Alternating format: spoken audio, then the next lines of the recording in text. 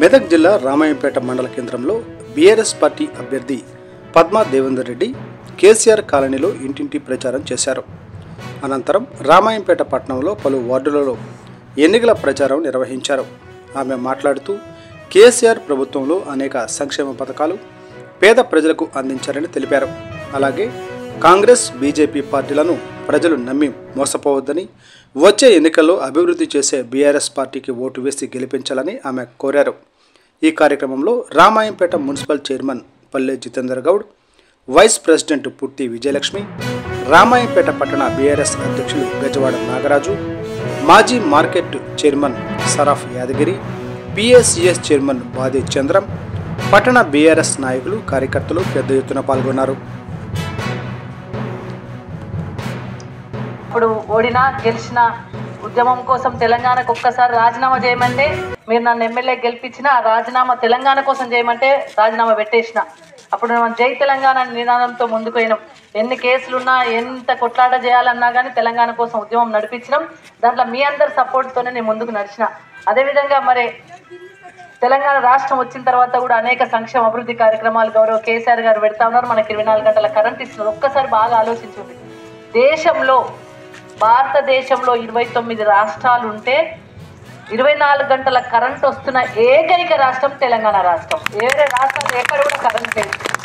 అదేవిధంగా రైతు బంధు ఇస్తున్న ఏకైక రాష్ట్రం కూడా మనది. రైతులను కాపాడుకుంటున్నాం. అంతకుముందు మందు బస్సాలు దొరకాలంటే కూడా దొరకక లైన్లు కట్టుకొని తీసుకుపోయే పరిస్థితి ఉండే. అంటే రైతు బాగుంటే రాష్ట్రం బాగుంది అన్నం పెట్టే అన్నదాత. మనకు అన్నం తింటున్నాం అంటే రైతు మంచుకుంటేనే మరి అట్లాంటి రైతును మంచిగా చూసుకున్నాం. అదేవిధంగా మనం మున్సిపాలిటీ కావాలంటే రామాయణపేట మున్సిపాలిటీ చేసుకున్నాం. మొన్న కేసీఆర్ సార్ వచ్చినప్పుడు నాకు డివిజన్ కావాలని అందరూ కోరుకున్నాం. ఇక్కడ ఉన్న వాళ్ళందరూ కూడా డివిజన్ కావాలి డివిజన్ కావాలంటే ఏ నియోజకవర్గంలో కూడా రెండు డివిజన్లు ఉండవు.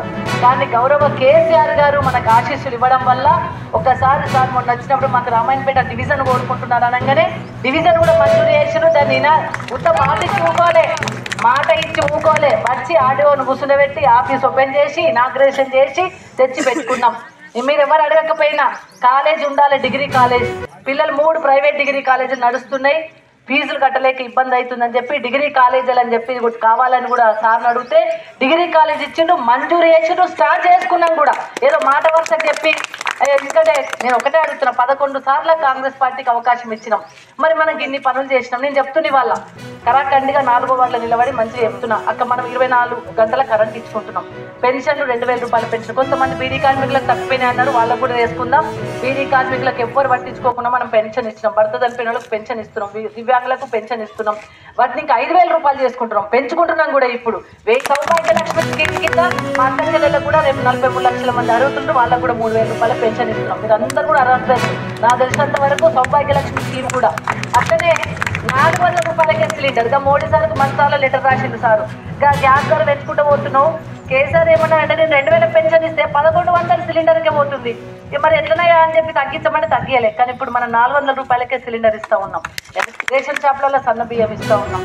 రైతు బీమా తరహాల పేదోళ్ళందరికీ కూడా బీమా చేస్తున్నాం. తెల్ల రేషన్ కార్డు ఉన్న వాళ్ళందరికీ కూడా బీమా చేస్తున్నాం.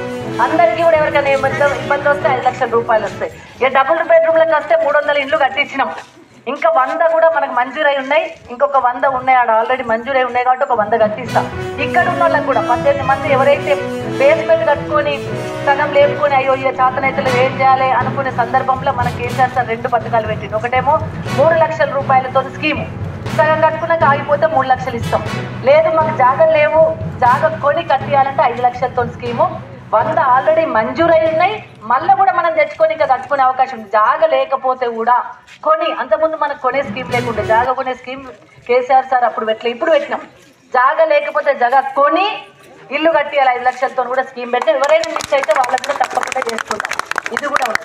కళ్యాణ లక్ష్మి పథకం అయితే నడుస్తుంది. కళ్యాణ లక్ష్మి పథకం ఎవరిచ్చినమ్మా? ఆడబిడ్డ పెళ్ళి చేస్తే ఒక్క ఐదు రూపాయలు చేతిలో పెట్టలేవారు ఐదు మనకు మనం కళ్యాణ లక్ష పథకంతో లక్ష నూట పదహారు వేలు దాన్ని కూడా పెంచుకుంటున్నాం. మొన్న కేసీఆర్ సార్ వచ్చినప్పుడు ఇరవై ఐదు కోట్ల రూపాయలు ఇచ్చిండు. అంతకుముందు కేటీఆర్ ఇరవై కోట్ల రూపాయలు ఇచ్చిండు. ఆ నలభై ఐదు కోట్లకు తోడు పాత తొమ్మిది కోట్లు ఉన్నాయి. అన్ని కలిపి యాభై నాలుగు కోట్ల రూపాయలతోనే మనం రోడ్లు డ్రైన్స్ కూడా వేసుకుంటాం. ఎక్కడ మిగిలిపోతే ఖాళీలలో వెళ్ళినప్పుడు అమ్మ చిన్న రోడ్ మిగిలింది ఈ డ్రైన్ మిగిలిందని చెప్పిర్రు.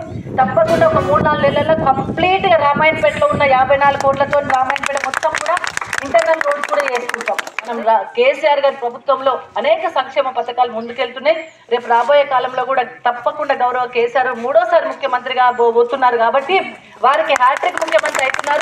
రేపు మిగిలిపోయిన పనులు నేను వచ్చినప్పుడు చెప్పిండు నేను సీఎం గారు. సార్ ఒక ఇంజనీరింగ్ కాలేజ్ కావాలంటే ఇస్తా. అట్లనే రింగ్ రోడ్ మీద కావాలంటే ఇస్తా. నా బిడ్డను గెలిపింది. ఇంకా ఏ పనులైనా సొంతగా తను చేసే విధంగా మంచిగా చేసే విధంగా నేను చూసుకుంటా అని చెప్పేసి గెలిపించుకొని నేను చూసుకుంటా అని చెప్పి గంత పెద్ద హామీ ఇచ్చిపోయాడు. ఇండ్లు అవసరం ట్రైన్స్ అవసరం రోడ్స్ అవసరం కొంతమందికి పెన్షన్లు అవసరం తప్పకుండా వాటన్నిటిని కూడా కొన్ని దళిత బంధు అవసరం అదేవిధంగా ఈసీ కులవృత్తుల వారికి కూడా అది కూడా అవసరం తప్పకుండా వాటన్నిటిని దృష్టిలో పెట్టుకొని ఒక పాలు ఎక్కువనే వేస్తాను కూడా ఈ సందర్భంగా తెలియజేసుకుంటూ మీ అందరికీ